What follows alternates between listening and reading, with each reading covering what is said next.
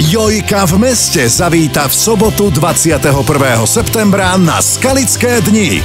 Celý deň vás budú zabávať tváre televízie Joj. Môžete sa tešiť na inkognito naživo, autogramiádu, moderátora Vlada Voštinára a tiež na živý vstup priamo z námestia v Skalici v hlavnej spravodajskej relácii televízie Joj. Jojka v meste v sobotu 21. septembra v Skalici.